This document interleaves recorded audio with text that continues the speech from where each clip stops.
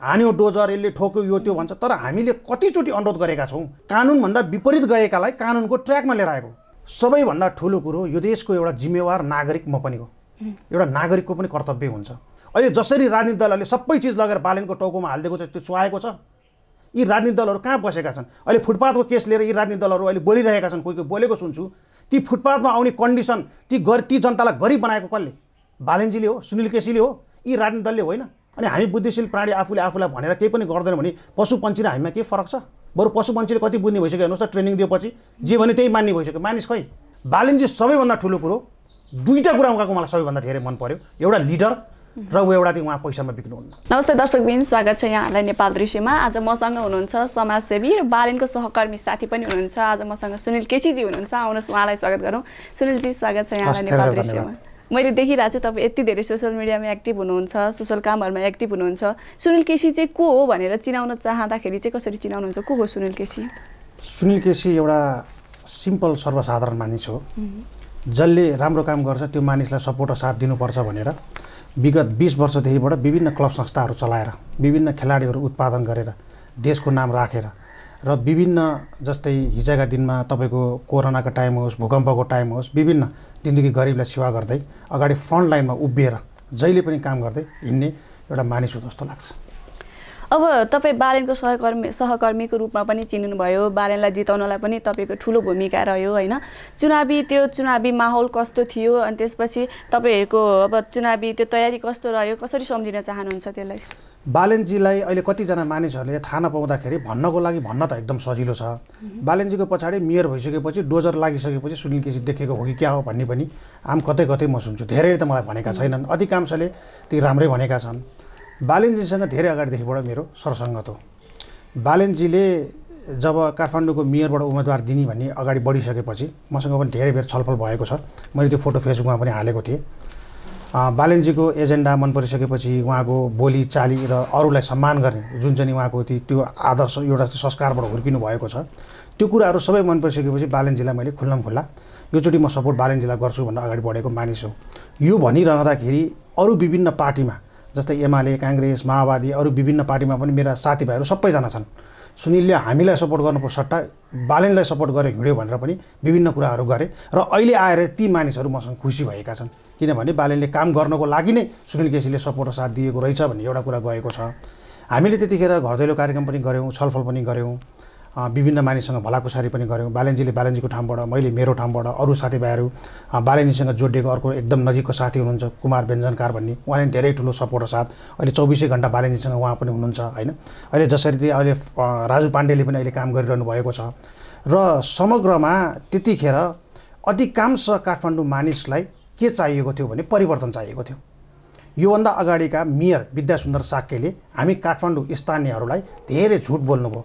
हावा कुरा गर्नुभयो। सक्दै नसक्ने कुराहरू बारम्बार बोलिदिने तर कुनै कुराको पनि पूर्ति नगर्ने भइसकेपछि यहाँका मानिसहरू साँच्चै परिवर्तन चाहन्थे। त्यो परिवर्तन चाहने मान्छेमा एउटा चाहिँ म पनि थिएँ। को लिएर आउँदाखेरि ठिक हुन्छ त? भनिसकेपछि त होइन अब बुढाखाडाहरू चाहिँ जहिले पनि हामी ती सत्तरी अस्सी वर्षको मान्छे जहिले पनि युवा नेता भन्ने जहिले नै हावा कुरा गर्दै हिँड्ने भइसकेपछि युवा त हामी होला। भनिसकेपछि अब युवालाई सपोर्ट र साथ दिनुपर्छ भनेपछि युवालाई हामीले त्यसरी अगाडि बढायौँ रिजल्ट पनि त्यसरी आयो। र राष्ट्रिय सभा गृहबाट सबैभन्दा पहिला मानिस म हो मैले सयौँ मिडियामा त्यहाँ बोलेको छु। जब तिस गते मतदान भयो हामीले तिस गते बुथहरू लगेर राष्ट्रिय सभा गृहमा बुझायौँ र बेलुका सर्वदलीय बैठक बसिसकेपछि एकतिस गते बिहान आठ बजीदेखिबाट मतगणना स्टार्ट गर्ने कुरा भयो। म त मेरो एउटा सबैभन्दा अगाडि परेँ एउटा बत्तिस र एकबाट काउन्टिङ भयो म सबैभन्दा अगाडि परेँ। म अगाडि परिसकेपछि मैले झन्डै झन्डै दुईवटा ठाउँमा सय सयवटा मत गनिसकेपछि बालेनको रिजल्ट मैले त्यहाँबाट थाहा पाएँ। त्यो थाहा पाउने बित्तिकै म बाहिर आएर सयौँ मिडियालाई तपाईँहरू ढुक्क हुनुहोस् लेख्नुहोस् यसको जिम्मेवारी पऱ्यो भने सुनिल केसीले बेहोर्छ। बालेनजीले साठीदेखि पैँसठी हजारको बिचमा मत ल्याउनुहुन्छ लेख्नुहोस् ठोक्नुहोस् भन्नु भनेको झन्डै एकसट्ठी हजार मत ल्याउनु भयो हुन त बालेनजीले टिभीमाथि नब्बे हजार आठ सय पैँतिसका पैँतिस भन्नुहुन्थ्यो होइन। मैले आँकडा गरेको थिएँ त्यो थियो। अनि ठ्याक्कै झन्डै एकसट्ठी हजार चान्चुन पनि मिल्यो। र मैले अर्को कुरा पनि त्यहाँ के भनेको थिएँ भने त्यो निकै भाइरल पनि भयो। मैले त्यो कुरा थिएँ बालेनजीले आज सयले लिड गर्नुहुन्छ भोलि दुई सयले चार सयले आठ सयले बा सोह्र सयले बत्तिस सयले दिन प्रतिदिन उहाँको बढेको बढेको हुन्छ कहिले पनि घट्नु हुँदैन है उहाँ घट्नै हुन्न भनेर भनेको थिएँ लगो लगो त्यो पनि त्यस्तै बढ्दै गयो कहिले पनि तलै पर्नु भएन। बढेको बढे बढेको बढे बढेको बढे झन्डै बिस पच्चिस हजारभन्दा बढ्ता मतले जित्नु भयो। त्यसैले गर्दाखेरि हामीले एउटा युवालाई पढाउन सक्यो भने कमसेकम हाम्रो काठमाडौँको मुहार परिवर्तन हुन्छ कि चेन्ज हुन्छ कि? आम मानिसलाई जसरी ती यी राजनीतिक दलले रुवाएका छन् आँसु दिएका छन् ती मानिसको मुहारमाथि बालेन्जीले कमसेकम हाँसो ल्याउन सक्नुहुन्छ कि भन्ने एउटा ठुलो आश थियो। हामीले त्यसरी नै सपोर्ट साथ दियौँ। अहिले त तपाईँहरूले काम देखिरहनु भएको छ काम गरिरहनु भएको छ कसैको दबावमा पर्नु भएको छैन कसैको प्रभावमा पर्नु भएको छैन एक्लो लिडर बनेर हिँडिरहनु भएको छ जनताको सपोर्ट र साथ पनि त्यसरी छ। त्यसैले गर्दाखेरि अबको राजनीति भनेको युवामा हस्तान्तरण हुनुपर्छ भनेर नै हामी अगाडि बढेको। मानिसहरू यी राजनीतिक दलबाट अघि मैले भनेको जस्तो वाक्क दिक्क थिए। अत्याचार भइसकेको थियो। हामीले त के भोगेका थियौँ र? यो सिसडोल र बन्चरी डाँडाका मानिसले भोगेका थिए। म त्यहाँ जहिले जान्थेँ आँखाभरि आँसु लिएर आउँथेँ। विद्यासुन्दर साकेले जहिले पनि त्यहाँ माथि झुटमाथि झुट मात्र बोलिदिनु भयो झन्डै दुई तिन वर्षको लागि लिजमा लिएको सिसडोलको जग्गा सत्र अठार वर्ष चलाउँदाखेरि पनि त्यहाँका जनतालाई केही गर्नु भएन। न फोन गरे फोन अफ भेट्न खोजे भेट्ने भेट्दैन भेटिने यी कुराहरू सबै सुनिसकेपछि सबै पार्टीका मानिसबाट वाक्क दिक्क भइसकेपछि ती हामी स्थानीयले धेरैले बालेन्जीलाई अगाडि बढाएको बालेन्जीले चुनाव अगाडि बोल्नु भएको कुरा र कामको तालमेल चाहिँ कतिको मिलेको छ जस्तो लाग्छ? तपाईँलाई के लाग्छ? यो जुन चाहिँ नि हामीले यो अवैध संरचनाहरू जसरी अहिले भत्काइरहेका छन् भनेका छन् हामीले त्यो भत्काएको होइन त्यसलाई व्यवस्थित गरेको। कानुनभन्दा विपरीत गएका मानिसलाई कानुनी ट्र्याकमा लिएर आएको हो। किनभने फिल्डमा त म आफै छु हरेक मिडियामा आएको छु। मैले जस्तो ग्राउन्ड ग्राउन्ड रियालिटी कसैले बुझेको होला र? तपाईँको फुटपाथ भनेको छ आफ्नो व्यक्तिगत घरको लागि फाइदा हुन्छ भनेर फुटपाथमा हिँड्ने सयौँ मानिसलाई त्यो अप्ठ्यारोमा पार्ने तर आफ्नो सेवा सुविधाको लागि तपाईँको भर्याङ राखेको देखियो। त्यो हामीले हटाएका हौँ। अन्डर अन्डरग्राउन्ड बेसमेन्टमा जसरी तपाईँका त्यो गाडीहरू पार्किङहरू हुनुपर्ने थियो बाइकहरू पार्किङ हुनुपर्ने थियो त्यो नभइकन त्यहाँ ठुला ठुला लत्ता कपडाका पसल खोलेको देखियो होटेल खोलेको देखियो विभिन्न तपाईँका त्यस्तै सामानहरू राखेको देखियो। त्यसलाई हामीले व्यवस्थापन गरेको। हामीले कसैलाई कसैलाई भत्काएको होइन। जस्तै तपाईँ बिरामी हुनुभयो भने तपाईँलाई हस्पिटल लानु भनेको त उपचार गरेको हो नि। होइन? र त्यसलाई नराम्रो हुन मिल्छ र। हामीले बे कानुनभन्दा विपरीत गएकालाई कानुनको ट्र्याकमा लिएर आएको हामीले नराम्रो त कतै केही गरेको छैन। हेर्दाखेरि मान्छेले हेर हान्यो डोजर यसले ठोक्यो यो त्यो भन्छ। तर हामीले कतिचोटि अनुरोध गरेका छौँ कतिचोटि भनेका छौँ कतिचोटि मान्छेलाई त्यो दुई हात जोडेर मैले व्यक्तिगत रूपमा मैले शुद्ध पनि भनेको छु। त्यो भनेको नमानिसकेपछि एकजनाको कारणले तपाईँको हजारौँ मानिसलाई असर पर्नु त भएन नि त। हाम्रो उद्देश्य त त्यो हो।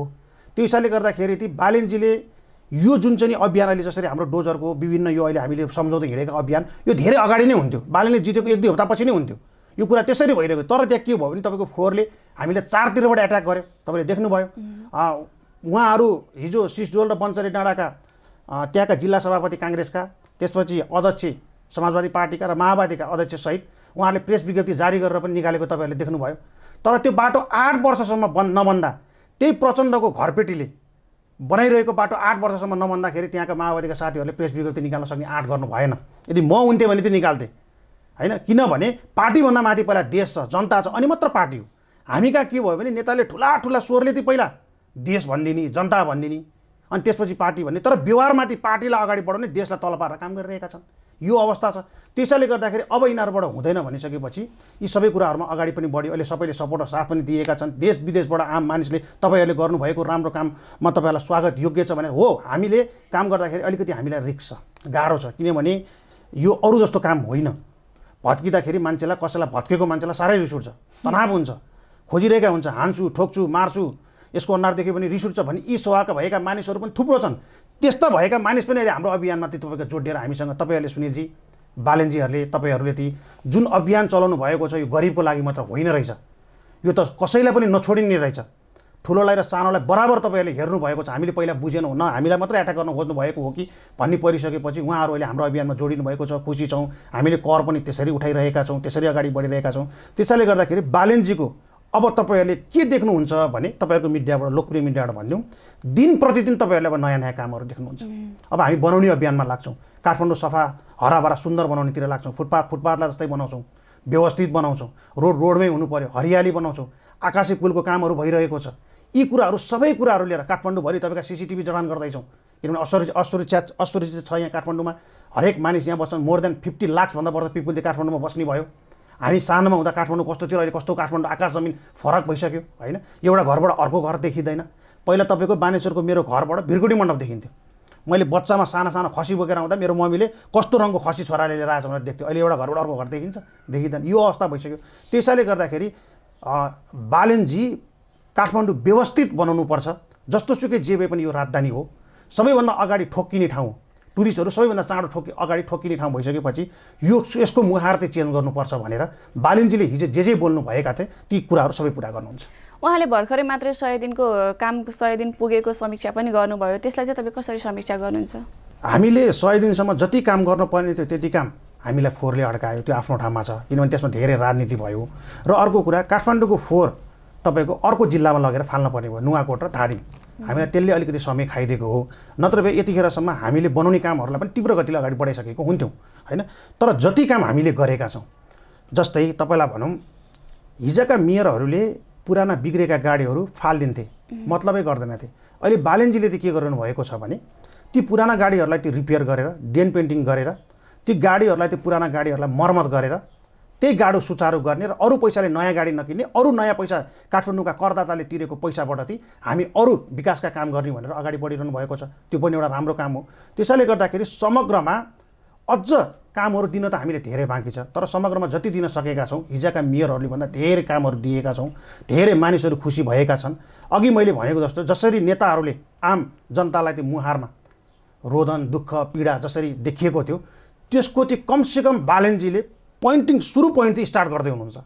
नेता भनेको यस्तो हुनुपर्छ है मेयर भनेको यस्तो हुनुपर्छ है जनतालाईसँग डाइरेक्ट टच हुनुपर्छ है। अहिले हेर्नुहोस् त तपाईँको डेङ्गु महामारी रूपमा फैलिरहेको छ। डेङ्गुको लागि पुरै गाडी दिएर एक सय दुईमा तपाईँको त्यो अहिले नगरपालिकाको गाडी दौडिरहेको छ।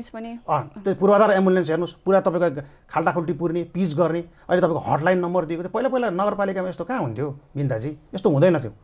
मेयरलाई भेट्नै गाह्रो थियो। फोन नम्बर त्यहाँ कसैले उठाउँदै उठाउँथ्यो सब आफ्नो पारामा चल्थ्यो। त्यो जागिर खाएको हो कि घुम्न गएको हो कि कोही तपाईँको दस पाँचसम्म जागिरै खाने। अहिले नगर प्रहरीको ड्युटी हेर्नुहोस् त कति बजी छ बिहान छ बजीदेखिबाट बेलुका तपाईँको एघार बाह्र बजीसम्म छ। ती नगर प्रहरीहरूलाई ती हर्षित गर्नको लागि अगाडि बढ्नको लागि उहाँले तलब भत्ता पनि थपिदिनु भयो। यो कुरा पनि देखेको छ। हो काम गर्ने मान्छेलाई सपोर्ट र साथ दिनुपर्छ। र तपाईँले भनेको जस्तो सय दिनको काम बालेन्जीको आशा लाग्दो काम छ। अब महानगरको अवैध संरचना हटाउने कार्यक्रम होइन? महानगरले हटाइरहेको छ अहिले। यो सुरुवात चाहिँ कसरी भयो? तपाईँ त अब यसमा नजिकबाट यो योजना बनाउने मान्छे पनि हुनुहुन्छ। यो ती जब मानिसलाई पीडा पर्छ दुःख पर्छ अनि त्यसपछि निक्लिँदो रहेछ। आक्रोश निक्लिँदो रहेछ क्या? जसरी माओवादीहरूले जनयुद्ध गरे नि। तपाईँको बानेश्वर चोकमा यही बानेश्वर हो। बानेश्वर चोकबाट सबैभन्दा पहिला हामीले यो व्यवस्थापन गर्नको लागि अगाडि बढेको। त्यहाँका स्थानीय आमा हस्टेल जान नसकिसकेपछि फुटपाथका कारणले झन्डै बित्नु भएको। त्यसपछि त्यहाँ तपाईँको धेरै ठुलो हल्लाखल्ला भयो।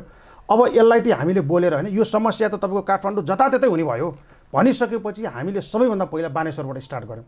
बानेश्वरमा बिस बाइस दिन त हामीले अभियानै चलायौँ। अहिले तपाईँ बानेश्वर चोक जानुभयो भने बानेश्वर चोकबाट अनानगर झर्ने बाटोमा ती तलबाट सबै बाटो काटिरहेको तपाईँले देख्नुहुन्थ्यो। अहिले तलबाट कोही पनि बाटो काट्दैन सबै आकाशी पुलबाट काट्छ। किनभने त्यहाँ सिसिटिभी जडान गरिएको छ।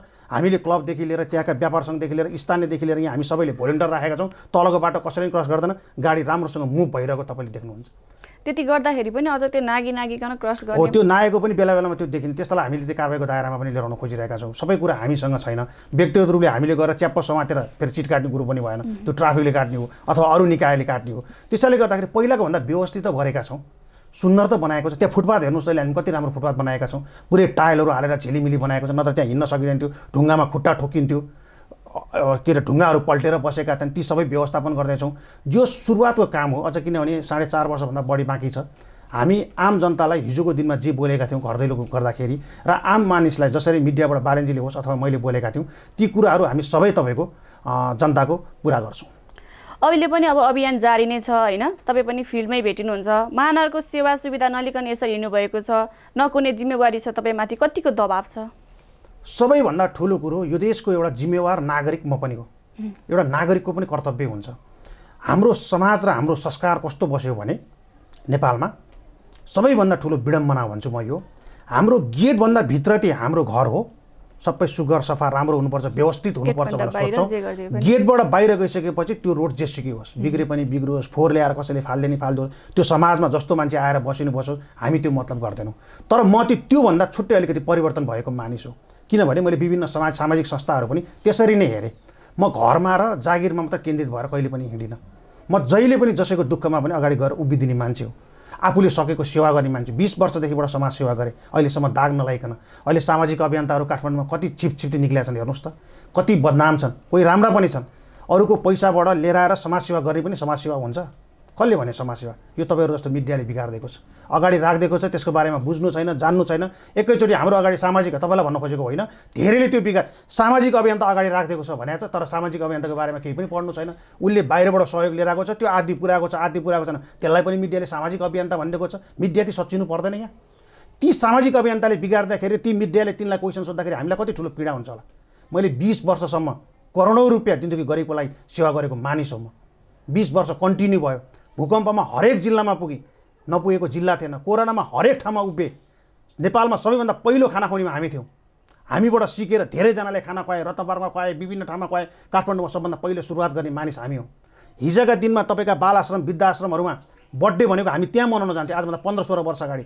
अधिकांश मान्छे जाँड रक्सी खाएर होल्ला गरेर पैसा उडाएर त्यसरी बर्थडे जन्मदिन शुभ कार्य मनाउँथे। तर हामीले त्यो बाटो देखाइदिइसकेपछि धेरै मान्छेहरू त्यतातिर गएर ठोके जन्मदिन भनेको पैसा फालेर जाँड रक्सी खाएर होइन दिनदेखि गरिबसँग गएर मनाउनु पर्ने रहेछ भने हामीले हेर्नुहोस् त हामीले सिकाउने भनेको त्यो हो कि?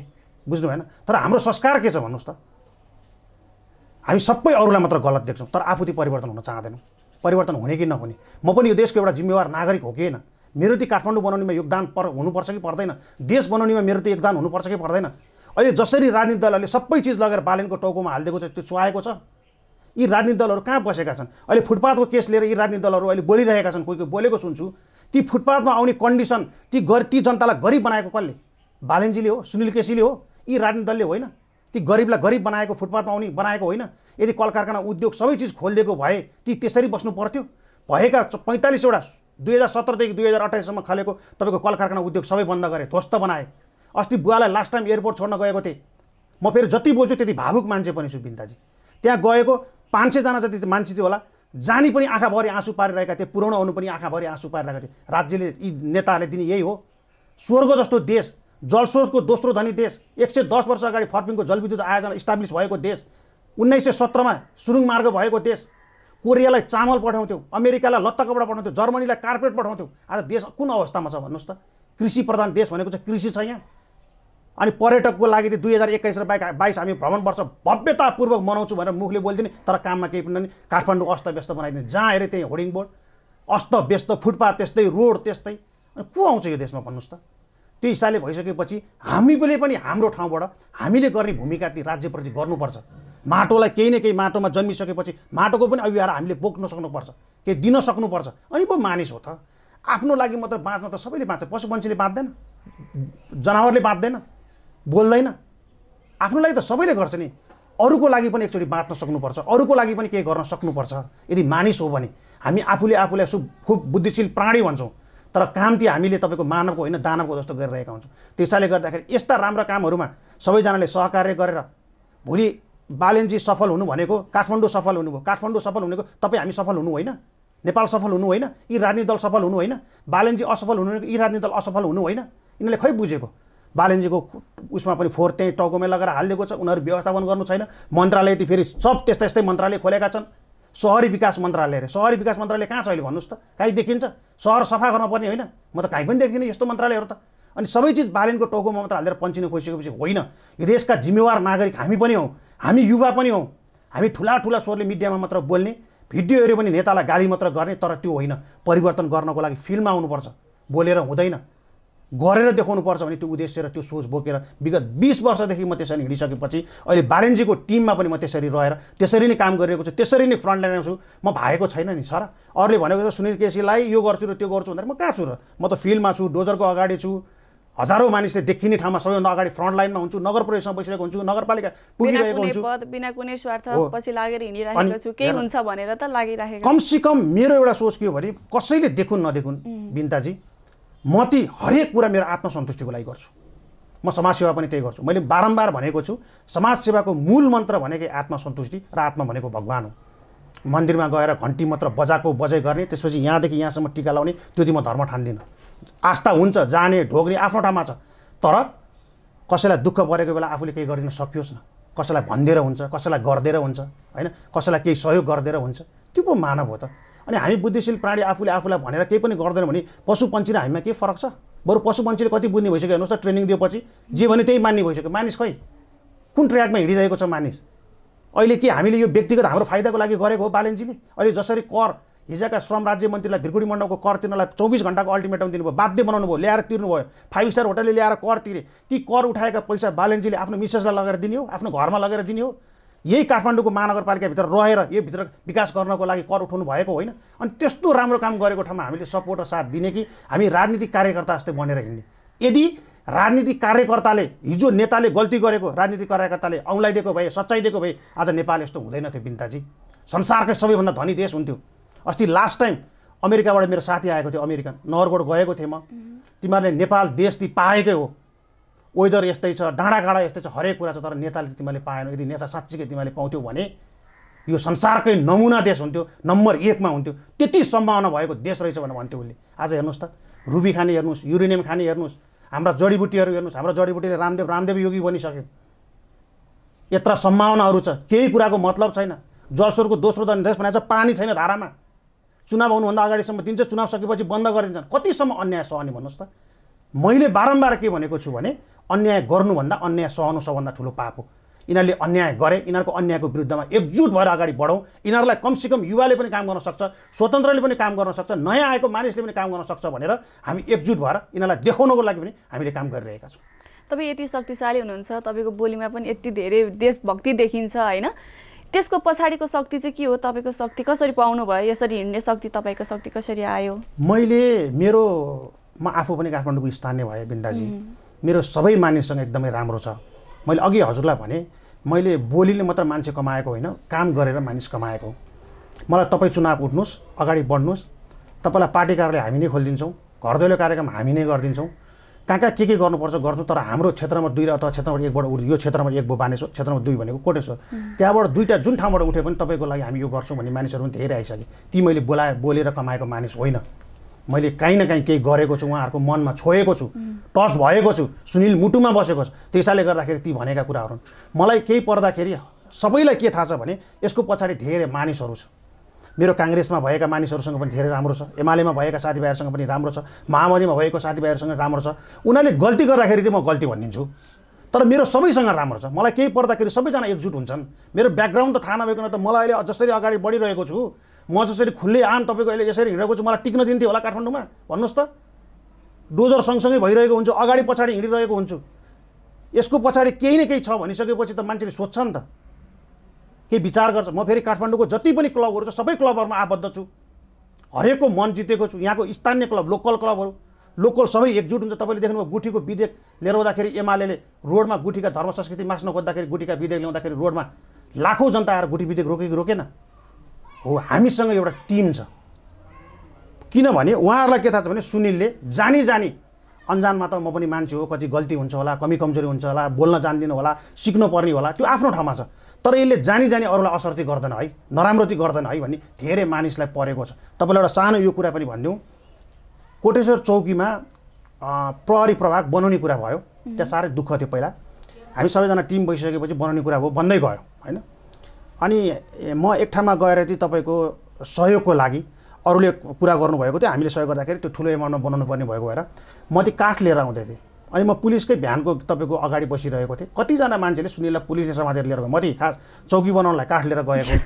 सबैजनाले मलाई समात्यो भनिसकेपछि सबैजना चौकीमा आइपुगेछन् भन्न खोजेको। ती मानिसहरूको मैले मन जितेको छु बिन्दाजी त्यत्तिकै मसँग पनि केही नभइकन एक्लो मानिस त काठमाडौँमा यसरी बोलेर यसरी गरेर हिँड्न कम गाह्रो हुन्छ। मेरो हरेक मानिसले घर देखेका छन्। हरेक मानिसलाई मेरो नम्बर थाहा छ। म यहाँको हो भन्ने थाहा छ। त्यसैले गर्दाखेरि फेरि सबैभन्दा ठुलो कुरो म कानुनभन्दा बाहिर गएर काम गरेको छैन। कानुनभित्रै रहेर काम गरेको छु।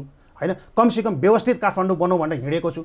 यो कुरामा बुझ्ने मान्छेले धेरैले त सम्मान पनि गरेका छन्। अब एक दुईजना तपाईँका रिस उठ्नेहरू अब कोही भत्केका कोही अलिकति हामीसँग हाम्रा ब्याक ब्याटिङ गर्दाखेरि खुसी हुने मानिसहरू त अब अलिअलि त केही रमाएको होला तर त्यसबाट पनि सबै मानिस त अहिले हाम्रो अभियानमा जोडेर सुनेपछि तपाईँले गरेको काम एकदमै राम्रो छ।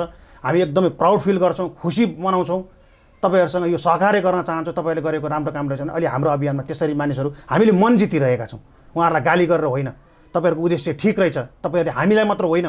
नेतादेखि कसैलाई पनि छोड्नु भएन। सबैलाई का कानुनी दायरामा ल्याउन खोज्नुभयो। प्रयास गरिरहनु भएको छ योभन्दा अगाडि कान के अरे काठमाडौँ महानगरपालिकामा यस्तो कहिले भएकै थिएन। तपाईँले त रेकर्डै राखिदिनु भएन। सबै जोडी पनि रहेका छन्।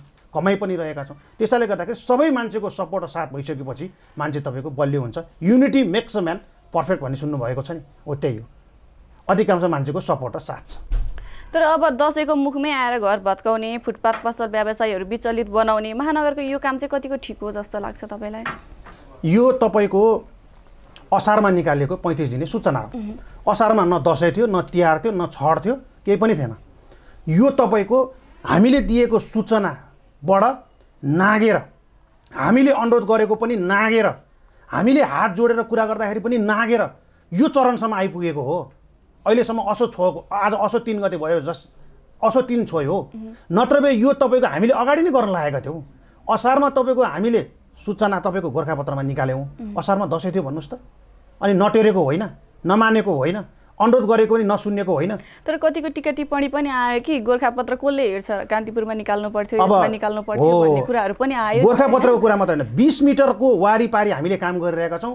हामीलाई ढाक ढा झुट कुरा बोल्नको लागि बिस मिनट पारि पनि हामीले समाचार पाछौँ भने मैले त्यो पनि थाहा पाएँ।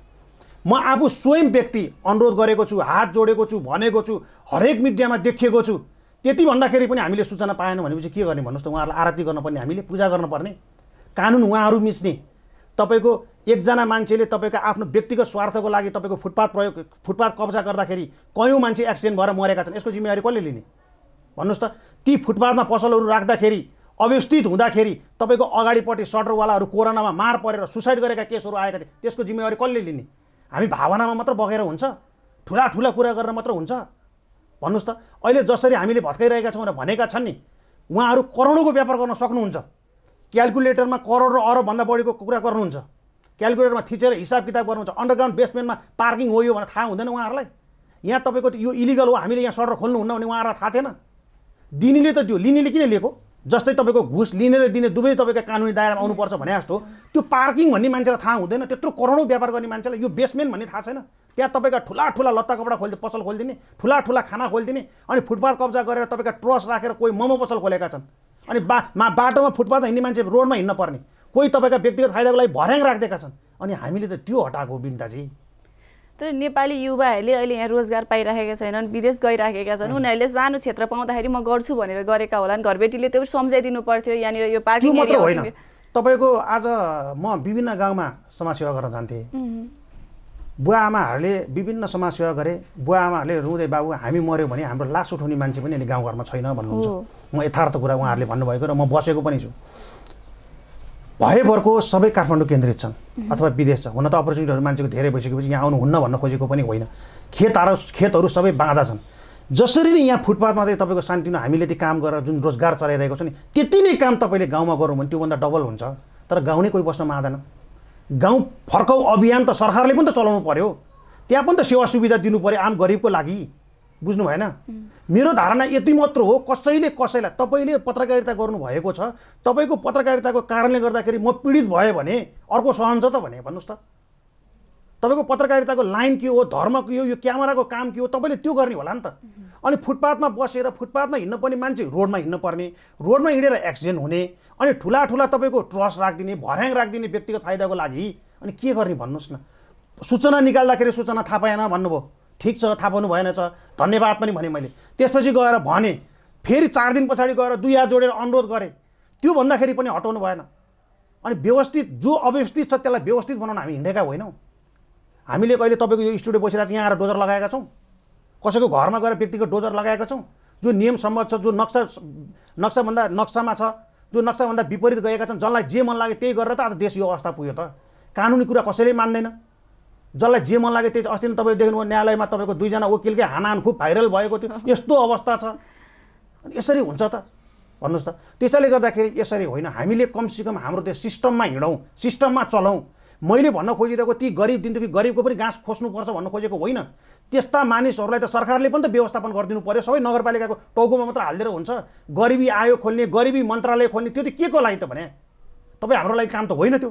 ती जो गरिब छन् तिनका लागि त त्यो काम गर्दै हुन्छ नि त। सरकारले पनि व्यवस्थापन गर्दै ती जनताले त गाउँमा गएर भोट हालेर उहाँहरूलाई पनि त ती माथिसम्म मन्त्री प्रधानमन्त्री त बनाएका होला नि। देउवा पनि त डडेलधुराबाट उठ्नु भएको अहिले जति मन्त्री सबै गाउँबाट उठ्नु भएको यहाँ आउने जति फुटपाथमा भएका सबै गाउँका मानिस हुन्। ती गाउँका मानिसले त सपोर्ट र साथ पनि दिएका थिए। अनि खै त उहाँहरूलाई केही पनि गर्नु सब बालनजीको टाउकोमा मात्र हालिदिएको छ। अनि यसरी समस्याको समाधान कसरी हुन्छ भन्नुहोस् त। सबैजना मिलेर हातेमालो गरेर हाम्रो काम के हो? सरकारको काम के हो? मन्त्रालयको काम के हो? अरू विभिन्न निकायको काम के हो? त्यो गर्न पर्ने। तपाईँले कोरोनामा देख्नुभयो स्थानीय पुरै सुतेर बस्यो तपाईँको चुनाव अस्ति स्थानीय चुनावमा तपाईँका त्यो आममा मैले हेरेको। कोटेश्वरमा बस भ्याइ नभए थियो यहाँ तपाईँका ती अ, मत मत मतदान दिन जाने मान्छे लिन आउँदाखेरि। त्यही कोरोनामा जनताहरू थानकोटबाट तपाईँको धुलीखेलबाट बच्चा बोकेर भारी तपाईँको टाउकोमा राखेर पन्ध्र दिन बिस दिनसम्म हिँड्दाखेरि कहीँ बोल्न सक्नु भएन उहाँहरू। त्यतिखेर हामी निक्लिनु पऱ्यो यो अवस्था छ। मैले गरिबलाई गर्न नहुने गरिबलाई गर्नुपर्छ भन्नु खोजेँ। फेरि एउटा कुरा के छ भने तपाईँको मिडियाबाट भनिदिउँ। फुटपाथसँग म आफूले पनि धेरै काम गरेको मानिस। भनेको मतलब उहाँहरूलाई धेरै ठाउँमा सरसहयोग गर्ने मानिस हो। फुटपाथमा फेरि तपाईँको को साँच्चीकै पीडित हो सो साँच्चीकै दुःखी हो छुटाउन पनि गाह्रो छ कि? बुझ्नु भएन कोही फेरि त्यहाँ तपाईँका दुई तिनवटा गाडी भएका मानिस पनि फुटपाथमा गएर बसेका छन्। कोही तपाईँका इमाडोलदेखि लिएर विभिन्न यो ललितपुरतिर तपाईँका घर जग्गा भएका मानिसहरू पनि आएर फुटपाथमा बस्दैका छन्। अनि कसरी छुट्याउनु भन्नु त सबै बालनजीले मात्र गर्नुपर्ने। यो सरकारमा भएको मानिसको चाहिँ कि खालि यो देशलाई राजनीति कमै खाने भाँडो राजनीतिलाई पेसा मात्र बनाउने व्यक्तिगत स्वार्थ लगेर जोड्ने आफ्नो परिवार आसेपासेलाई मात्र अगाडि बढाउने यही हो त उहाँहरूले बुझ्नुभएको राजनीति। अनि यसलाई परिवर्तन गर्नु पर्यो ट्र्याकमा ल्याउनु पर्यो भनेर हामी हिँडेका हौँ। हामीले त यो बाहेक अरू त केही परिरहेको छ। कसैलाई अन्याय हुने गरेर कसैको नियम विपरीत गएकालाई कसैलाई पनि छोड्दैनौँ नियममा भएका उहाँहरूलाई ससम्मान तपाईँले राम्रो काम गर्नुभयो ताली नै बजाइदिरहेको हुन्छु। बेला बेला म आफै ताली बजाइदिरहेको हुन्छु। हिजो तपाईँले त्यो थापा गाउँमा देख्नुभयो। सामान निकालिदिएर उहाँको सामान एउटा पनि वेस्ट नजाओस्। चामलको बोराहरू होला चिनीको बोराहरू होला त्यो सबभन्दा पहिला भिज्ने नभिज्ने ठाउँमा भित्र राखिदिउँ भनेर हामीले त्यो पनि देखाइरहेका छौँ। अब तपाईँले हिजो थापा गाउँमा देख्नुभयो हामी अस्ति हानेर गयौँ फेरि पसल राखिसक्यो। केही दिन अघि मात्रै महानगरले चाहिँ टुकुचा खोला पनि उत्खनन गर्यो होइन। जय नेपाल हलकै आँगनमा भनेर पनि कसरी थाहा भयो तपाईँहरूलाई? जय त्यहीँनिर छ भनेर चाहिँ कसरी थाहा भयो? त्यो त त्यहाँका मानिसहरूले त्यो त्यहाँ त्यो सम्बन्धी विज्ञहरूले त्यहाँका तपाईँका स्थानीयहरूले त्यो कुरा सबै भनिसकेपछि अगाडि बढेको त्यतिकै लगेर तपाईँको डोजर लगाएको होइन। जहाँनिर छ त्यहाँनिर हानेको। अहिले पनि कामहरू भइरहेको छ। रातभरि त्यहाँ कामहरू भइरहेको छ। खोला भनेको त तपाईँको सार्वजनिक होइन र। अनि सार्वजनिक माथि पनि तपाईँको भवनहरू बन्ने। हामीसँग जे छ हामीले गर्न सक्छौँ भन्दामा जे गर्दै पनि हुन्छ यो देशमा। कानुन हाम्रै हातमा छ भनेर जे गर्दै पनि हुन्छ समेत आउँदो रहेछ नि त। खोला जस्तो चिज पनि लुकाइदिनु भयो खोला त खोला त तपाईँको त सबै खोला काठमाडौँको। कत्रो खोला थियो त्यो सार्दा सार्दा सार्दा किनभने मेरो त त्यो त आँखा अगाडि देखेको छु नि त। सार्दा सार्दा यत्रो बनाइसकेँ। हामीले कमसेकम सुरुवात गरेको अब हामीले सुरुवात गऱ्यौँ सरकारले अर्को ठाउँबाट सुरुवात गरोस्। प्रदेश भनेको चाहिँ यो प्रदेशहरू के काम? प्रदेशले आफ्नो ठाउँमा खोलामा काम गरोस्। यो तपाईँको करिडोरको खोलाको जति पनि बाटोहरू खोलेको छ नि म्याक्सिमम् जग्गा मिचिएको छ त्यहाँ। म्याक्सिमम् जग्गा मान्छेले खाएका छन्। मैले सुनेको कोरोनामा अरू त्यो सबै तपाईँको रोग लाग्छ र मर्छन् भन्ने डरले यताउता भए। ती ठग र तपाईँका ती भ्रष्टहरू ती तपाईँको ती जग्गामा घर बनाउँदै थिए अरे हेर्नुहोस् त। अनि यिनीहरूलाई कानुनी ट्र्याकमा ल्याउनु परेन कानुनी बाटोमा ल्याउनु परेन। जे मन लाग्छ त्यही गर्ने देशमा। भोलि एउटा ल्याएर तपाईँको सार्वजनिक बाटोमा घर बनाइदिएला। के सहने? भोलि खोलै नहोला। एकतिर बगिरहेको खोला एकतिर लगिदिएला सहने? त्यसैले गर्दाखेरि यो हुँदैन भने चाहिँ त्यहाँको स्थानीय यसको विज्ञ सबै राखेर राति बसेर किनभने दिउँसो त्यहाँ डिस्टर्ब हुन्छ जाम हुनसक्छ भनेर राति त्यो खनिएको हो। स्टे अर्डर आइसक्यो हेर्नुहोस् न। यो अवस्थामा छ। नर्विकको केसमा के भयो भने बुझ्न गएको छन् स्टे अर्डर आउँछ। अल्फाबिटामा झन्डै तपाईँको स्टे अर्डर आउँछ भन्ने थाहा पाउँदा मात्रै त्यही भएर बालेन्जी नक्सा बोकेर त्यहीँ तपाईँको अल्फाबिटै पुग्नु भयो यहाँ यस्तो छ देश। हिजो देख्नु भएन आज संविधान दिवस होइन। हिजो तपाईँको के अरे हाम्रो चोरेन्द्र शमशेर पूर्व प्र- प्रणालीलाई तपाईँको नजरबन्दमा राखेको छ। यही हो संविधान भनेको यही हो। मान्छेलाई नजरबन्दमा राख्न पाइन्छ। जस्तो सुकै चाहिँ उहाँले गल्ती गरेको छ भने उहाँको उहाँको कानुनी बाटो हेर्नुहोस् खोज्नुहोस् त्यो आफ्नो ठाउँमा छ। मान्छेलाई नजरबन्द गरेर राखिदिने। उहाँको छोरी रोएर अन्तर्वार्ता दिइरहेको देखाएको थिएँ मैले। अनि यस्तो त हुँदैन होला नि त। यी कानुन विपरीत गएकालाई हामीले कानुनमा ट्र्याक लिएर सबै हामी फेरि जुन जुन ठाउँमा जान्छौँ त्यहाँ स्थानीयसँग टच हुन्छौँ। स्थानीयसँग सोधखोज गर्छौँ। जो त्यहाँका मेन स्थानीय छ उसलाई त धेरै कुरा थाहा हुन्छ नि त्यहाँको बारेमा। जस्तै मलाई चाहिँ अब जय नेपालहरूको बारेमा सोध्नु पऱ्यो भने धेरै थाहा नहुन सक्छ। तर मलाई बानेश्वरको बारेमा सोध्यो भने त धेरै थाहा छ नि त। धोबी खोलामा कति कस्ता कस्ता घरहरू बने कस्ता कस्ता जग्गा थिए को कोले बनाए के के गरे यी कुराहरू त अब सबै थाहा हुँदै जान्छ नि त। त्यसैले गर्दाखेरि त्यहाँका मान्छेहरू सबैजनालाई राखेर हामी अगाडि बढेका हौँ। टुकुचा मिच्ने चाहिँ पाँच सय एकासी किताको सूची भएर चाहिँ भत्काउने तयारी महानगरको छ होइन? कहिलेदेखि सुरु हुन्छ यसको सम्भव छ कि छैन? भत्काउने भनेर तपाईँको यो मिडियातिर बाहिरतिर चाहिँ पुरै घरै डाङराङ र डुङडुङ भत्काउने भन्ने कुरा छ यस्तो होइन। जहाँ जहाँबाट टुकुचा बगेको छ त्यसलाई चाहिँ खुल्ला गर्ने भनेको हो खोलाको यो मान्छेले बाहिरतिर के भ्रम पारिदिरहेका छन् भने सबै घर एकैचोटि आएर चाहिँ महानगरपालिकाले डोजर लगाइदिइहाल्छ डोजर लगाएर भाङलाङ भुङ्नु सबै झारिदिइहाल्छ भने जहाँ जहाँ तपाईँका त्यो टुकुचा बगेका छन् ती ती ठाउँलाई चाहिँ तपाईँको खाली गर्ने। त्यही पनि अब तपाईँको त यहाँ स्टेयर आइसक्यो। यो अवस्था भइसक्यो होइन? त्यसैले गर्दाखेरि तपाईँको जुन जुन ठाउँ खाली छ त्यो त्यो ठाउँमा चाहिँ तपाईँको टुकुचा खोला खोलेर अगाडि बढ्ने हो। महानगरको यस्तै योजनाहरू चाहिँ अरू के के छन् जुन चाहिँ अहिले अब सार्वजनिक भएका छैनन्?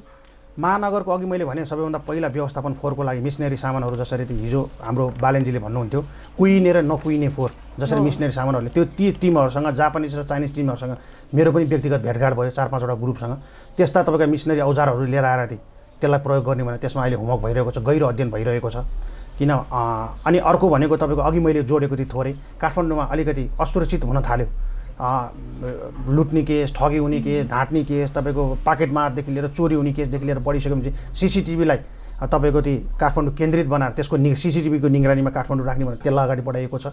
विभिन्न गाडीहरूलाई पूर्वाधार एम्बुलेन्स बनाएर अगाडि बढाइएको छ। अब फुटपाथहरूमा व्यवस्थापन गर्ने हरियाली तपाईँको कसरी बनाउने विभिन्न तपाईँका भएका संरचनाहरू जसरी त्यो मान्छेले व्यक्तिगत तपाईँका ती सार्वजनिक जग्गाहरू ओगटेर बसेका छन् तिनलाई नगरपालिकाको दायरामा कसरी लिएर आउने भनेर यी जग्गा जमिन खोज्नेदेखि लिएर अनि अर्को कुरा ज्योति अब जतिसुकै विकास गर्नको लागि त पैसा चाहिन्छ कर चाहिन्छ। अनि जो जो कर छली गरेका छन् जो जो ठगेर भागेका छन् तिनलाई करको दायरामा लिएर आउने भनेर अहिले यो सुरुको पिरियड थियो यो पाँच सातवटा किनभने एकैचोटि धेरैमा हाम फाल्न थाल्यो भने जहाँ पनि फेरि अनसक्सेस भइएला। स्टार्टिङ बाई अहिले यो पाँच सातवटा काम गर्ने त्यसपछि फेरि थप अर्को गर्ने त्यसपछि फेरि थप अर्को गर्ने भनेर अहिले हामी त्यसरी अगाडि बढ्दैछौँ। यो महानगरसँग सम्बन्धित भयो बालेनसँग पनि सम्बन्धित रहेर गयो तपाईँ नजिक हुनुहुन्छ बालेनसँग होइन? तपाईँले बुझेको बालेन चाहिँ कस्तो हो? बालेन मैले सोचेको भन्दा पनि राम्रो मान्छे पाएँ। उहाँको राम्रो पक्ष नडराउने त्यो एउटा कुरामा कुनै कुरामा अडिक लिइसकेपछि पछाडि हट्न नजान्ने पावर नचल्ने। कुनै नेताको भनसुन नचल्ने। हामीलाई चाहिएको त यही त हो नि त्यही भएर ज्यान दिएर सपोर्ट साथ दिएर अगाडि बढेको छ। टाउकोमा कफन बाँधेर। यदि हल्लिने लिरी लिरी भएको भए त म नि कहाँ अगाडि हुन्थेँ र? बुझ्नु भएन म पनि त्यही खालको मान्छे हो। तपाईँहरूकै मिडियामा देख्नु भएको छ। बालेन्जी पनि त्यही मान्छे हो। त्यही भएर त सहकार्य भयो। त्यही भएर त अगाडि बढिरहेको छु। त्यही भएर त सपोर्ट साथ दिइरहेको छु। बालेन्जीले त्यही हुन्छ तपाईँले धेरै ठुलो सपोर्ट र साथ दिनुभएको छ भन्नुहुन्छ। उहाँहरूको टिमसँग के के गर्ने कसो गर्ने कामहरू यो भने मेरो पनि छलफलहरू भइरहेको हुन्छ। बालेन्जी सबैभन्दा ठुलो कुरो दुईवटा कुरा उहाँको मलाई सबैभन्दा धेरै मन पर्यो। एउटा लिडर र ऊ एउटा चाहिँ उहाँ पैसामा बिक्नुहुन्न कसैले पनि चा नगरे हुन्छ। त्यो कुरा चाहिँ मैले आफू जस्तो सोचेको चाहिँ मैले त्यो कुरा बालेन्जीबाट पाएँ क्या त्यही भएर गर्व लागेर हौसित भएर आफ्नो काम थाँती राखेर छोडेर म टिमसँग अगाडि बढिरहेको हुन्छु। हरेक टिमको कार्यक्रमको कुराहरू म भटामा आइपुगेको हुन्छ। आज के गर्ने कसो गर्ने भने छलफल भइरहेको हुन्छ। हामीले पनि भनिरहेका हुन्छौँ। उहाँहरूको कुरा पनि हामीले सुनिरहेका हुन्छौँ। बालेन्जी एउटा लिडर व्यक्ति। जसरी हामीले पहिला सोचेका थियौँ त्योभन्दा बढ्ता लिडर भएर निक्लिनु भयो त्यसैले गर्दाखेरि त्यतिसम्मको मेयरलाई हामी काठमाडौँका हरेक जनताले सपोर्ट र साथ दिनुपर्छ जस्तो लाग्छ। तर सबै राम्रो मान्छेको पछाडि नराम्रो पक्ष पनि हुन्छ भने उहाँको चाहिँ नराम्रो पक्ष के छ? मैले अहिलेसम्म देख्दाखेरि अब नराम्रो हेर्नुहोस् मान्छे हो होइन। अब कमी कमजोरी बत्तिसै गुणमा लक्षण कोही पनि हुँदैन। अलिकति बालेन्जीले ती अब अब त किनभने मेयर भइसक्नु भयो नि त। कुनै कुरामा त हुन पनि हो फेरि यस्तै छ सबैले वाक्क दिक्क बनाउँछन्। त्यो आक्रोश हुनु पनि स्वाभाविक हो। आक्रोशलाई अलिकति कम गरेर अगाडि बढ्नु भयो भने झन् धेरै राम्रो हुन त। त्यत्रो मिडियामा अन्तर्वार्ता दिनुभयो केशव स्थापितले ठग भन्नुभयो अन्तर्राष्ट्रिय ठग भन्नुभयो विभिन्न फटा भन्नुभयो तर उहाँले केशव स्था बा भन्नुभयो सृजना सिंहलाई आमा भन्नुभयो म श्रवण कुमार भनेर पनि त्यस्ता राम्रा कुराहरू पनि छन्। अस्तिको कुरामा दुई चारजनाले अलिकति आक्रोशित नभइदिएको हुन्थ्यो भन्ने कुरा गरेर गर्दै थिएँ। अब त्यो पनि उहाँले सुधारेछन् लगभग अहिले त फिल्डमा अब बालेन्जीले अर्डर दिने हो अरू सबैजना हुन्छन् उहाँ हुन्न। अब त्यो कुरामा अलिकति कम गर्नुभयो भने अरू कुरा उहाँको सबै राम्रो छ। अब बालेनजी सँगसँगै हिँड्ने सपोर्ट गर्ने महा महानगरपालिकाको उपमेयर सुनिता डङ्गोलजीलाई चाहिँ कसरी चिन्नुहुन्छ तपाईँले? सुन्दर डङ्गोलजी अस्ति तपाईँको जेनेपाल हल अगाडि तपाईँको जब टुकुसा सुरुवात गर्यो त्यतिखेर आउनुभएको थियो। एउटै ठाउँमा हिँडिसकेपछि एउटै महानगरपालिकामा भोलि बालेन्जी असफल हुनु भनेको सुनिताजी पनि असफल हुनु सुनिताजी असफल हुनु भनेको बालेन्जी पनि असफल हुनु। त्यसैले गर्दाखेरि पहिला सुनिताजी त स्वतन्त्रबाटै आउनुभएको हो नि त। पछि पो पार्टीको तपाईँको टिकट पाउनुभयो जानुभयो। तर बालेन्जीलाई उहाँको धेरै ठुलो सपोर्ट र साथ छ। होइन? जसरी उहाँले ती उहाँका नेताहरूले पार्टीमा भएका मानिसहरूले गाली गर्दाखेरि पनि सुन्ताजी त आफूले सक्यो। अब किनभने तपाईँको विभिन्न ठाउँमा डोजर लागेको ठाउँमा जान सकिँदैन त्यो आफ्नो ठाउँमा छ। तर मेन मेन ठाउँमा गएर त गइरहनु भएको छ हेरिरहनु भएको छ। त्यसैले गर्दाखेरि सुनिताजीको पनि एउटा युवामा हुनुपर्ने सोच विचार भाषण पनि राम्रो गर्नुहुन्छ होइन? एउटा लेडिज मान्छे त्यतिसम्म एउटा तपाईँको उपमेयर जितेर फर्स्टचोटि चुनाव लड्दाखेरि नै जितेर अगाडि बढेर देखाइरहनु भएको छ। त्यसैले गर्दाखेरि बालेन्जीलाई पनि उहाँको धेरै ठुलो सपोर्ट र साथ छ। उहाँहरू दुईजनाको कुराहरू तपाईँको जोइन्टली नै हुन्छ। केही कुरा मन लागि पहिला पहिला चाहिँ तपाईँको मेयर विद्यासुन्दर साके र हरि हरिप्रभा खड्का कि समथिङ उपमेयर काङ्ग्रेसको हुनुहुन्थ्यो। उहाँहरूको कति झगडाहरू बाहिर आयो नि। छताछुल्ल भयो नि बाहिर होइन? मैले भनेको मेयरले नमान्ने मेयरले भनेको मलाई केही पनि नदिने मलाई केही जिम्मेवारी नदिने भन्नुभएको थियो। अहिले सुन्दाजीहरूलाई पनि धेरै जिम्मेवारी दिएको छ। कोर्डिनेसन गरेर एउटै टिमभित्र रहेर उहाँहरूको हातेमालो गरेर राम्रो काम भइरहेको छ। उहाँको नराम्रो पक्ष पनि त होला। के छ उहाँको सुनिताजी सुन्ताजीको? ती म सुन्ताजीसँग त्यति नजिक भएर काम गर्न पाएको छैन बिन्ताजी। त्यही भएर थाहा नभएको कुरामा धेरै कुरा बोल्दाखेरि पनि अनुचित हुन्छ होइन? अब उहाँहरूसँग उहाँ आफ्नै काममा हुनुहुन्छ म आफ्नै काममा छु। व्यक्तिगत प्रोग्राममा भेटघाट हुने कुराकानी हुने भनेको आफ्नो ठाउँमा छ तर धेरै कुरा मलाई थाहा छैन। समग्रमा उहाँ पनि एउटा युवा भएको हिसाबले बालेनजी पनि युवा हामी पनि युवा भएको हिसाबले गर्दाखेरि युवा अब राजनीतिमा आउनुपर्छ युवालाई अगाडि बढाउनुपर्छ भन्ने उहाँको पनि विचार छ। किनभने उहाँलाई पनि त थाहा छ नि त देश कुन अवस्थामा पुगेको छ पढ्नु भएको छ बुझ्नु भएको छ समाज यहीँ जान्नुभएको छ यहीँ जन्मिनु भएको छ यहाँ कस्ता थिए के भयो कसो भन्दा मनमा उहाँलाई पनि त परेको छ नि। त्यसैले गर्दाखेरि उहाँहरू हाम्रो सबैको उद्देश्य भनेको काठमाडौँ बनाऊ समग्रमा कमसेकम यहाँबाट एउटा राम्रो मेसेज दिन सकौँ। हामीबाट अरू जिल्लाहरूले अरू सहरहरूले अरू चोकहरूले पनि सिकौँ भनेर जुन उद्देश्य बोकेर हिँड्नु भएको छ सबै कुरा राम्रो छ तर व्यक्तिगत कुरा चाहिँ मलाई सुन्ताजीको धेरै थाहा छैन। धरानका मेयर हर्क साङपाङ। उहाँलाई चाहिँ तपाईँले कसरी हेर्नुहुन्छ? हर्क साम्पाङती एउटा योद्धा हो। उहाँ फ्रन्ट लाइनमा उभिसकेपछि काम गर्छु भनेपछि गर्छु गर्छु। पानी पनि ल्याइसक्नु भयो। तर उहाँको त्यो अरू सबै कुरा ठिक लाग्यो। लेखेर पनि उहाँले आह्वान गरेर मान्छेहरू पनि आउँछन् त्यो पनि मलाई सबै ठिक लाग्यो होइन? तर एउटै बाटोमा लागिसकेपछि त्यसमा सम्झाउन खोज्दाखेरि अलिकति नमान्नु हुँदो रहेछ। जस्तै बालनजीको केसमा पनि धेरैचोटि उहाँले लेख्नुभयो होइन? बालनजीले कहिले पनि त्यो कुरालाई मतलब गर्नु एकचोटि अति भएर तपाईँकै लौरोको कारणले गर्दाखेरि मैले काठमाडौँमा जितेको पनि हो कि क्या हो भनेर त्यो त्यो एउटा लेखिदिनु भयो त्यो अति भएपछि। अरू त हर्क साम्पाङ एउटा युद्ध हो त्यस्तै मानिसहरू काम गर्ने मानिस चाहिएको छ हामीलाई। अब बोल्ने मानिस होइन गर्ने मानिस चाहिएको छ भने म पनि त्यही उद्देश्य बोकेर हिँड्ने मान्छे। जस हर्क साम्पाङले पनि धरानका मानिसहरूको मुहारमा हाँसो ल्याउनु भएको छ मतको अपमान गर्नु भएको छैन सम्मानै गरेर काम गरेर अगाडि बढिरहनु भएको छ त्यसैले गर्दाखेरि हर्कजीलाई पनि मलाई धेरै राम्रो ठान्छु। केही समय अघि मात्रै काठमाडौँ आएर हर्क साङपाङजीले चाहिँ काठमाडौँ महानगरपालिकाका मेयर बालेन्द्रमाथि चाहिँ खिसी गरेर जानुभयो। यसलाई चाहिँ कसरी लिनुहुन्छ फेरि? होइन उहाँले त्यो त्यो फोहोर उठेन अब म आएको कारणले गर्दाखेरि चाहिँ फोहोर उठ्यो समथिङ के के भनिदिनु भयो होइन? त्यस्तो त्यो होइन। त्यो फोहोरको कुरा सबैभन्दा पहिलो एजेन्डामै बालनजीको थियो। जुहारी पनि चलिरहेको जुहारी पनि। चल्यो। एकचोटि बालेन्जीले त उहाँको स्ट्याटसमा तपाईँको कमेन्ट ठोकिदिनु भयो। त्यसपछि त बारम्बार उहाँले मात्रै लेख्नुभयो बालेन्जीले लेख्नै छोडिदिनु भयो। उहाँले त्यो कुरा भनेको थियो। त्यो कुरा त्यो होइन। अलिकति धरान र काठमाडौँमा काम गर्ने फरक के छ भने हर्क साम्पाङ चाहिँ धरानभित्रै काम गरिरहनु भएको छ। धरानभित्रै धरानभन्दा बाहिर जानु परेको छैन। आफ्नै उपमहानगरपालिकामा काम गरेर हुन्छ बालेन्जीलाई चाहिँ काठमाडौँको फोहोर लगेर अर्को जिल्लामा फाल्नु छ।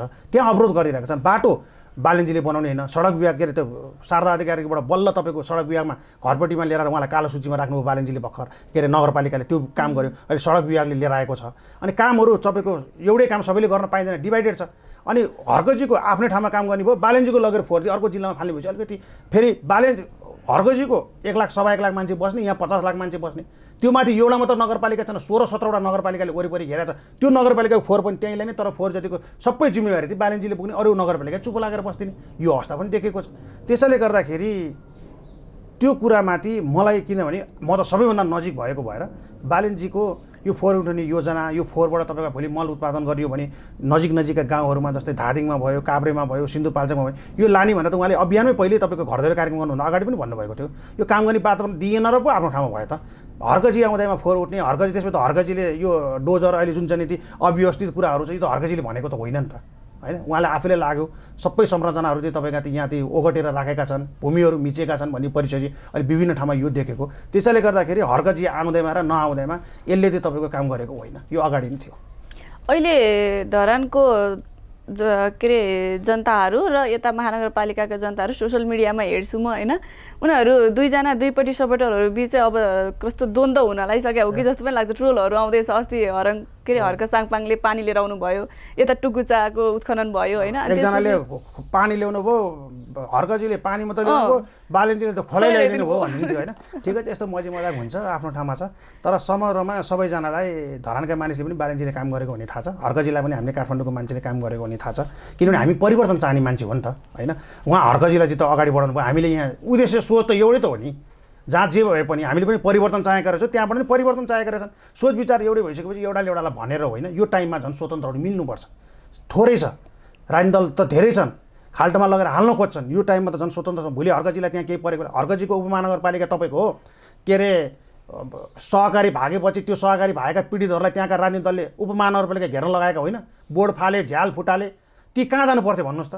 न्याय नपाएपछि सहकारी भएपछि कि प्रहरी प्रशासनकोमा जानु पर्थ्यो कि अदालतकोमा जानु पर्थ्यो त्यति पनि केही नभएको भए मिडियामा जानु पर्थ्यो उपमहानगरपालिकातिर लगिदिएको छ फेरि त्यतैतिर लागेका छन् यस्तो अवस्था छ। अनि त्यो हिसाबले गर्दाखेरि राजनीतिक दललाई तपाईँको त्यो झन् बलियो किन हुन दिने? भोलि बालेन्जीलाई त्यहाँ केही परेको बेला यहाँबाट तपाईँ कति बालेन्जीले बोलिदिनुहोस् बालेन्जीलाई यहाँ अप्ठ्यारो केही पर्दाखेरि हर्कजीले बोलिदिनुहोस् त्यसको देशैभरि कति राम्रो मेसेज जान्छ भन्नुहोस् त। एकजुट हुनसक्छ कसैले हेप्न सक्दैन थिच्न सक्दैन होइन? हर्क के अरे बालेन्जीको सपोर्टर धरानमा पनि होला हर्कोजीको सपोर्टर काठमाडौँमा पनि होला। भोलि बालेन्जीलाई के हुँदाखेरि हर्कजीलाई हुँदाखेरि सबैजना निक्लिउँ न राम्रो काम गरेको ठाउँ त्यो मेसेज चाहिँ हामीले दिन सक्नुपर्छ। यो झगडा गरेर उसले उसलाई भनेर त्यसले पाउनु पनि केही होइन। त्यो छेडिकको तपाईँको एउटा रिसमा आएर भन्दैमा त्यसले राम्रो मेसेज पनि जाँदैन। यो टाइममा भनेको हामी सबैजना मिलेर सहकार्य गरेर देश बनाउने अभियानमा अगाडि बढ्नुपर्छ। अहिले भनाइ के छ भन्दाखेरि हर्कजीले चाहिँ कामभन्दा बढी अब अरूलाई हेरेर टिप्पा टिका टिप्पणी गर्न थाल्नुभयो। आफ्नो कामभन्दा काम पनि बढी भनेर भन्नुहुन्छ काम पनि गरिराख्नु भएको छ तर अरूको काममा पनि बढी चासो राख्न थाल्नुभयो भनेर सोसियल मिडियातिर डाइलेक्ट हान्दो त्यो इन्जिनियरले कहाँ यो देश बनाउने हो र यहाँ त्यहाँ भन्दै हुन्छ अब उहाँ आफ्नै शैलीको हुनुहुँदो रहेछ काम गरिरहनु भएको छ। उहाँलाई आफ्नै शैलीमा छोडिदिएपछि कहिले न कहिले कहिले न कुनै समयमा त बुझ्नु होला नि त। अब बालेन्जीले बुझिसक्नु भएको छ होइन? बालेन्जीले त्यसरी उत्तर पनि फर्काउनु हुँदैन। जे होस् अब मैले त यति मात्र भन्छु समग्रमा सबै मिल्दाखेरि नै राम्रो हुन्छ। एउटाले एउटालाई भर्याङ हालेर खाल्टोमा हालेर त्यसले कसैलाई कहीँ पुऱ्याउँदैन। मिल्यो भने एकतामा बल हुन्छ भने जस्तो मिलेर जानु नै सबैभन्दा राम्रो हुन्छ जस्तो लाग्छ। नेपालको राजनीतिबारे तपाईँको धारणा चाहिँ के छ? नेपाली राजनीतिको त मलाई कुरै नगर्नुहोस् यो राजनीति नै होइन।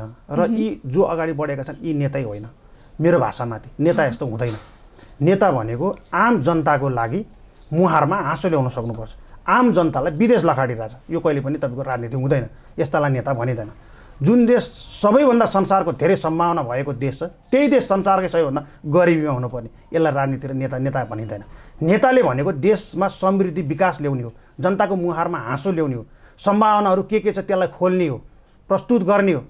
जस्तै जडीबुटी रुबी खाने युरेनियम खाने अरू विभिन्न तामा खाने फलाम खाने सुन खाने यस्ता कुराहरूलाई अगाडि लिएर यी तपाईँका भएका कल कारखाना उद्योग खोलेर त्यो भ गरेको भए पो त्यो नेता हुन्छ त भने। यहाँ परिभाषै उल्टो छ। यस्तो यहाँ तपाईँका काङ्ग्रेसका प्रधानमन्त्री नेता अर्को एमालेको पार्टीको मान्छे नेता नेतै होइनन् यिनीहरू। मेरो भाषामा नेता यस्तो हुँदैन। नेता भनेको त कमसेकम आम जनताको मन जित्न सक्नुपर्छ। यसरी रुष्ट हुन नपरोस्। आम जनताले नेताको नाम लिने बित्तिकै गर्व लागोस्। त्यो पो हो त नेता। त्यसैले गर्दाखेरि यी राजनीति दलबाट भएन भनेरै त तपाईँको विनिताजी यहाँ बालेनजी उता हर्कजी त्यसरी आउनु पऱ्यो उहाँले राम्रो काम गरेको भए त अहिले उहाँहरूको पछाडि हामी लाग्नै पर्दैन थियो नि। बालेनजीले उम्मेदवारी नै दिनुहुन्थेन नि। योभन्दा अगाडिका मेयरले यस्तै काम गरिदिएको भए बालेनजीको किन राजनीतिमा जन्म हुन्थ्यो भन्नुहोस् त। सुनिल केसी किन आउनु पर्थ्यो? अथवा अरू एबिसिडी किन आउनु पर्थ्यो? यही यिनीहरूले केही पनि गर्दैन भनिसकेपछि तपाईँको हामी राजनीतिमा होमिएका होइनौँ। सडकबाट मात्र हुँदैन रहेछ अब सदनबाटै अगाडि बढ्न पर्ने रहेछ भने हामी अगाडि बढ्न खोजेका होइनौँ। त्यसैले गर्दाखेरि यी मेरा भाषामाथि यो राजनीति पनि होइन। यो एउटा कमाइ खाने भाँडो हो यो एउटा पेसा हो। यो व्यक्तिगत स्वार्थ लगेर जोड्ने ठाउँ हो र आफ्ना नजिकका आसेपासे छोराछोरी भान्जा बुहारी को को हुन्छ श्रीमती यिनलाई ठाउँ दिने ठाउँ मात्र हो। उहाँहरू भन्नुहुन्छ हाम्रो आठ लाख कार्यकर्ता छ दस लाख कार्यकर्ता छ हामीले सामुपातिकमा हाम्रो भोट यति आउँछ भन्नुहुन्छ। काठमाडौँ महानगरपालिकामा मिसेस उठाउनुहुन्छ कतै छोरी उठाउनुहुन्छ अनि दस लाख पन्ध्र कार्य लाख कार्यकर्तामा सक्षम कार्यकर्ता कोही छैन। पढेको जानेको बुझेको देश हाँक्न सक्ने कार्यकर्ता कोही छैन। म त एक सय कार्यकर्ता देख्छु त। ती कार्यकर्ताले ठाउँ नै पाउँदैनन् बिचरा। ती कार्यकर्ता फेरि बोल्न पनि सक्दैनन्। हाम्रो भाउजू उठ्नु भएको छ भनेको छ हाम्रो दिज्जू उठ्नु भएको छ भनेको छ हुँदै नभएको साइनो लगेर जोडेको छ। यसरी कसरी देश चल्छ भन्नुहोस् त। त्यसैले गर्दाखेरि मेरो भाषामाथि यो राजनीति पनि होइन र यी पार्टीहरू नेता पनि यी यी पार्टीमा लागेका यी नेताहरू पनि होइनन्। त्यसो भएदेखि दलले चलाउन नसकेको देश स्वतन्त्रले चलाउन सक्ला त? देखाइरहेछौँ हामीले। हिजोसम्म तपाईँका तिसौँ चालिसौँ वर्षसम्म पानी नरहेको पानीको हाकार भएको ठाउँ धरानमा जितेको तपाईँको तिन चार महिना उहाँले पानी ल्याएर बाँडिसक्नु भयो यहाँ अव्यवस्थित काठमाडौँ थियो व्यवस्थित गर्नको लागि अगाडि हुँदो रहेछ भनेर अगाडि बढिरहेका छौँ। हिजोका श्रम राज्य मन्त्रीदेखि लिएर ठुला ठुला व्यापारीलाई करको दायरामा लिएर आएको छौँ। झन्डै करोडौँ तपाईँको राजस्व उठिसकेको छ। व्यक्तिले चाह्यो भने त हुँदो रहेछ। मन हुनु पऱ्यो भित्रदेखिबाट आउनु पऱ्यो देखावटी होइन र बोल्नको लागि मात्र होइन। सबैजना देशकै लागि गर्छु भने अगाडि बढ्यो भने देश बनाउन सकिँदैन। हामी भ्रष्टाचार गर्दैनौँ। हाम्रो सेवा सुविधा जे छ त्यति मात्र लिएर हामी जनताको मुहारमा हाँसो ल्याउँछौँ देशमा समृद्धि र विकास गर्छौँ। हामी आफन्तलाई मात्र ठाउँ दिँदैनौँ। जसले ज जे जानेको छ त्यसलाई त्यो ठाउँ दिइन्छ भने अगाडि बढाओस् त। देश कहाँ पुग्छ? अनि सबै चिज अरूबाट ल्याउनु पर्ने अरूबाट माग्नु पर्ने। देख्नु भएन गगनजीले संसदमा एमसी पास गर्ने बेला के भन्नुभयो? एउटा युवा नेताले हामीलाई शुद्ध लाज लाग्यो। त्यतिसम्म बोल्नुभयो। एमसिसीले केही पनि हुँदैन। एमसिसीको कारणले केही भयो भने मेरो नागरिकता खोसियोस् मलाई चारपुटे मुटोस् मलाई थानकोट कटाइयोस्। आज इन्डियासँग अब यति अरब माग्ने चाइनासँग यति अरब माग्ने रे हेर्नुहोस् त। हामी दिन्छौँ होइन हामी बनाउँछौँ हामी कमाउँछौँ हामी पनि अगाडि विकास गर्छौँ होइन कि अरूसँग मागेर देश चलाउने अनि सुनको कोचरा लिएर अरूसँग हामीले जहिले पनि भिख माग्नु पर्ने। हामीले त भिखारी त बनाएका छन्। अहिले एउटा कोही जन्मियो भने तपाईँको चौसठी हजार टाउकोमा छ मान्छेको। यो अवस्थामा पुगिसक्यो देश। यस्तै अवस्थाले पुग्दाखेरि पाकिस्तान खत्तम हुन लागिसक्यो ऋण ऋणका कारणले गर्दा श्रीलङ्का तपाईँले देख्नुभयो ऋणका कारणले गर्दाखेरि। आज पैसाले तपाईँको केही किन्न पाइँदैन। तेल छैन कुनै सामान छैन। अस्तव्यस्त भइसक्यो। राष्ट्रपति भाग्नु पऱ्यो तपाईँले देख्नु जनताहरू सबैले घेरे। अनि यो अवस्थामा देश पुऱ्याइ पुऱ्याउन लागिसक्यो यिनीहरूले। अनि अहिले पनि नसोचे कहिले सचिने हो अब पनि नजागे कहिले जाग्ने हो अब पनि नबिउजे कहिले बिउजिने हो म त अचम्म पर्छु बा आफ्ना बाआमा हुँदा हुँदै बुवा भनेको के हो बा भनेको के हो आफूलाई कर्म दिएर आफूलाई जन्म दिएर यति माथि पुऱ्याउने ती होला नि त बाआमा। पार्टीका नेताहरूलाई यिनीहरू बा भनेर देखेर मलाई अचम्म लाग्छ कि? बारे हेर्नुहोस् त। अनि यो सोच र यो संस्कारबाट हुर्केका मान्छेले कहिले देश परिवर्तन गर्छन्? अनि तिनले आफ्नो व्यक्तिगतभन्दा अरू कसैलाई हेर्छन्? देश लुट्नु बाहेक अरू उनीहरूले केही काम गर्छन्? देशमा ठग्न बाहेक अरू केही काम गर्छन्? आफन्तलाई बाहेक अरूलाई ठाउँ दिन्छन्? यो अवस्थामा पुगिसक्यो अनि उहाँहरू कार्यकर्ताले बुझ्न पर्ने होइन। अनि हामीले औँला उठाइदियो भने हामीले सच्चाइदियो भने त वा तपाईँले राम्रो काम गरिदिनु भयो खुसी लाग्यो भनिदिनु पर्दा उल्टो तपाईँका त्यो राम्रो कुरा गरेको मान्छेमा झम्टिनु खोज्छन्। अनि यो संस्कारबाट हुर्केका छन् देश कसरी बन्छ भन्नुहोस् त? त्यसैले गर्दाखेरि यी राजनीतिक दलबाट न विकास हुन्छ देश दिन प्रतिदिन कमजोर हुँदैछ। यिनीहरूलाई हटाएर हामीले केही गर्छौँ भनेर नि तपाईँको हामी अगाडि बढाएको त्यसैले गर्दाखेरि स्वतन्त्रले काम गर्न सक्छ गरेर देखाइरहेको छ। अबको दुई चार वर्षमा बालनजीको अवधि हेर्नुहोस्। हामीले काम कसरी गर्नुपर्ने रहेछ र काम भनेको के रहेछ भनेर यिनीहरूलाई हामी देखाउँछौँ। यो त निर्दलीय व्यवस्था भयो भन्छन् नि। हामीले कसैलाई पनि तपाईँको काखरा पाखा गरेका छैनौँ। कसैलाई नराम्रो गरेको छैनौँ। होइन? प्रमाणसहित। अब मुखले बोल्ने हो र मिडियामा भनिदिने हो अथवा जे मन लाग्यो त्यही भनिदिनु हो नि त मेरो भन्नु केही पनि छैन। हामीले कसैलाई काखा पाखा गरेका छैनौँ कसैलाई नराम्रो गरेका छैनौँ। तर यी राजनीतिक दलले यदि हामीले गरेको टा काममा कमसेकम स्याबास भन्न नसके पनि कमसेकम गाली चाहिँ नगरिदिएको भए हुन्थ्यो। काम जति बिगार्ने सबै उहाँहरू। हिजो मेयर बालेनजी हुनुभन्दा अगाडि नै यस संरचनाहरू सबै ओगटेर राखेका यी राजनीतिक दलकै मान्छेहरू मेयर वडाध्यक्ष हुँदाखेरि गरेको होइन। अहिले हामीले त व्यवस्थापन गर्दछौँ नि त। अगाडि बढ्दैछौँ नि त यी राजनीतिक दलबाट कसैले पनि अब आश नराखेको हुन्छ। यिनीहरूले केही पनि गर्दैनन्। यिनीहरूबाट अब के गर्छन् भनेर भ्रममा पर्नु भनेको त्यो जति महामूर्ख अरू कोही पनि होइनन्। अब साँच्चीकै हामीले विकल्प खोज्नुपर्छ। जसरी हामीले काठमाडौँबाट स्टार्ट गऱ्यौँ जसरी धरानबाट गरे जसरी विभिन्न अरू जिल्लाबाट गरे अब यस्तै मानिसहरूलाई त अगाडि बढाउन सक्नुपर्छ। यहाँ हाम्रोलाई होइन हामीलाई त राम्रो मानिस चाहिएको छ। म आफू उठ्यो भने मेरो बारेमा पनि सोध्नुहोस् बुझ्नुहोस् जान्नुहोस्। सुनिल केसी भनेको को? मभन्दा राम्रो मान्छे आयो भने म ब्याग सर्छु भनिरहेको छु। तर राजनीतिलाई फेरि कमाइ खाने भाँडो फेरि पेसा बनाउने व्यक्तिगत स्वार्थ लगेर जोड्ने मान्छे हो भने त म अगाडि बढ्छु नि। कमसेकम मैले एउटा भ्रष्टाचारलाई रोक्न मात्र सकेँ भने त्यो त मेरो लागि धेरै ठुलो आत्मसन्तुष्टि हो नि म समाजसेवा त्यसकै लागि गर्छु। त्यसैले गर्दाखेरि यी राजनीतिक दलले त जे पनि गर्छन् अब यिनीहरूबाट होइन। हामी आफै सचिएर हामीले आफै बुझेर अगाडि बढ्दाखेरि नै देश राम्रो हुन्छ जस्तो लाग्छ। अन्त्यमा अब राजनीतिक दललाई पनि अथवा बालेनलाई पनि तपाईँको केही सुझाव छ यो राजनीतिक दललाई त केही पनि सुझाव दिँदिनँ म। यो सुझाव दिएर लिने खालकै होइनन् होइन? बालेनजीले राम्रो काम गरिरहनु भएको छ। यसरी नै काम गर्दै अगाडि बढिरहनुहोस्। जसरी लिडर भएर जसरी अगाडि बढिरहनु भएको छ यसरी अगाडि बढ्नुहोस्। धेरै मान्छेको सपोर्ट र साथ छ। काम गर्दाखेरि सबैसँग भलाकुसारी गरेर सरसल्लाह गरेर त्यसरी नै अहिले जसरी गरिरहेको छ यसलाई नै निरन्तरता दिएर अगाडि बढ्न सक्यो भने एउटा रोल मोडलको नाममा रूपमा बालेनजीको नामहरू आइरहेको छ जनताले त्यसरी रुचाएका छन् त्यसरी मन पराएका छन् होइन? आम सबैबाट बालेन बालेन भनेको मात्र सुन्छु। सानो बच्चा अस्ति हामी। बानेश्वर अस्ति बानेश्वर चोकमा तपाईँको त्यहाँ हामी त्यहाँ काम गर्दै थियौँ स्कुलको एउटा बस आएको रहेछ बच्चै बच्चा बोकेर आएको रहेछ। बालेन कि बालेन भनेर बसभरि नारा लाग्दै थियो कता जानला? सानो सानो बच्चा। टुमा वान नपढ्ने त्यो अवस्था छ। त्यसैले गर्दाखेरि बालेनजी हामीले अहिले जुन काम गरेर यसलाई सबैजनासँग सरसल्लाह लिएर जुन ठाउँमा जाँदैछौँ त्यहाँको स्थानीयलाई अगाडि राखेर भलाकुसारी गरेर त्यहाँको बारेमा तिनलाई थाहा हुन्छ उहाँहरूलाई थाहा हुन्छ। त्यस्तो कुरा गरेर अगाडि बढ्न सक्यो र निरन्तर यसरी नै काम गर्न सक्यो भने हामीले जुन बोलेका थियौँ त्यो कुरा पनि पुरा हुन्छ। साँच्चै काठमाडौँ पनि फेरिनेछ भन्दै बालेनजीलाई ती योभन्दा अझ लिडर भएर चाहिँ तपाईँ अगाडि बढ्नुहोस् भनेर पनि अनुरोध गर्न चाहन्छु।